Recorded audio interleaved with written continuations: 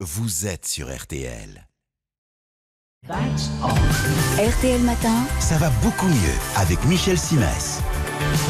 8h12, à nouveau bonjour Michel. Bonjour Yves. Ce matin, vous vous penchez sur les conséquences du confinement et il en est une à laquelle il vaut mieux penser. Alors, euh, dès maintenant, c'est la prise de poids. Oui, je ne sais pas si vous avez eu l'occasion de, de parcourir l'excellent numéro de Libération d'hier intitulé Le Libé des écrivains, qui est d'ailleurs toujours disponible sur le site du journal. Oui. Si c'est le cas, vous avez sans doute lu cette magnifique lettre aux Français de l'auteur italienne Francesca Melandri. Alors, ça commence comme ça. Oui. Je vous écris d'Italie, je vous écris donc depuis le futur. Nous sommes maintenant là où vous serez dans quelques jours. Et dans cette lettre euh, savoureuse, elle nous dit tout ce qu'on va faire. Avant tout, vous mangerez, dit-elle. Et tout au long de sa lettre, ça devient un gimmick. Elle nous explique qu'en période de confinement, on mange, que quand on a fini de manger, on remange, et que quand on n'a plus faim, on remange encore. C'est presque du comique de répétition, sauf qu'à la fin, ça n'est pas hyper drôle parce qu'on grossit. Alors, comme c'est vrai ce constat, qu'est-ce qui nous fait manger plus que de raison dans, dans ces conditions? Le stress, Michel? Oui, le stress, le confinement, c'est du stress et c'est de l'ennui aussi pour tout le monde. Vous avez l'impression d'être privé de liberté, vous n'avez aucune certitude sur la date d'échéance du confinement.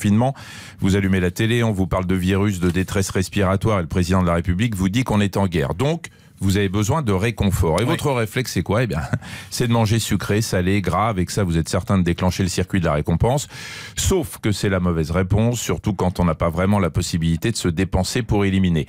En même temps, je ne suis pas en train de vous dire qu'il ne faut pas manger, parce qu'avec le confinement, il y a déjà assez de frustration euh, comme ça, pas besoin d'en rajouter. La solution, c'est donc de créer ce qu'on appelle des moments alimentaires et d'en faire des moments de partage. Ah, vous m'intéressez. Que voulez-vous dire exactement? Alors d'abord la cuisine, on y prépare les repas. Le reste du temps, on n'a rien à y faire, sinon on risque de se mettre à grignoter. Le problème, c'est que pendant le confinement, la cuisine, elle est là, hein, à deux mètres de vous. Donc ce que je vous conseille, c'est d'y passer du temps uniquement quand c'est utile et d'en faire un lieu de partage familial. Vous pouvez par exemple impliquer les enfants dans la fabrication du repas ou du goûter. Est-ce qu'on risque pas d'aiguiser un peu plus encore leur appétit pour le coup? Mais non, c'est le contraire qui se passe. Il y a Ah. eu des études, de nombreuses études montrent que plus on génère de l'excitation sensorielle avant de passer à table, moins on mange une fois qu'on est effectivement à table. J'espère que ça ne se concerne que le- la nourriture. Oui, ab- absolument.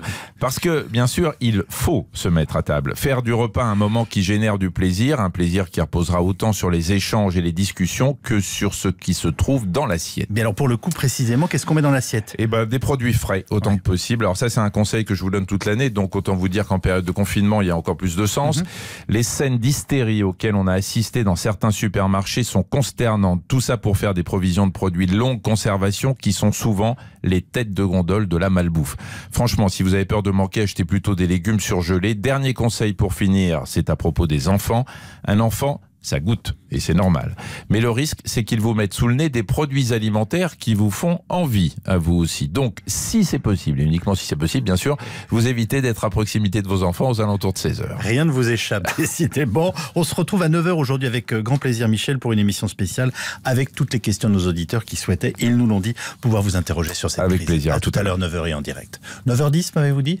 Ah oui, 3210, pardonnez-moi, je ne comprenais pas. 3210 pour toutes vos questions à Michel euh, Simès ou 64 900, euh, code matin pour les SMS. passez une bonne journée sur RTL. On a tellement de choses à se dire.